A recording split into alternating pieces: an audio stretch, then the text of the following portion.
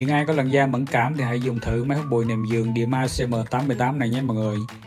Máy có màu xanh sapphire sang trọng, thanh lịch và rất là quyến rũ nè.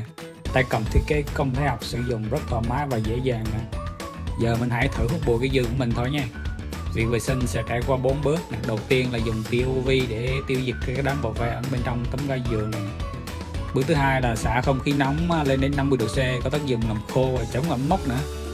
Còn đây là bộ phận bố rung của máy nhé với tần số rung 7 lần lần trên phút, mình giúp đánh bật bụi bẩn cứng đầu sau đó cái đám bụi này sẽ bị hút vào bởi lực hút lên đến 13.000 PA đảm bảo hiệu quả làm sạch tối đa nhé mọi người nhìn tấm da giường bị hút dính lên cao dữ dằn CM88 thì có hai lớp lọc nha. lớp đầu tiên à, sẽ tách không khí và các hạt bụi nhỏ lớp thứ hai là bộ lọc HEPA giúp lọc phấn hoa, các hạt bụi mịn nè, sau đó xả không khí sạch ra ngoài nha. dưới bồn máy còn có cảm biến âm lực nha. khi mình nhấc máy lên nó sẽ tắt cái đèn UV để mình đảm bảo an toàn cho da tay của mình mọi người quan tâm đến sản phẩm, hãy nhấn đặt mua ngay nha nếu có câu hỏi nào về sản phẩm, chat liền tay với shop luôn nha. Cảm ơn mọi người.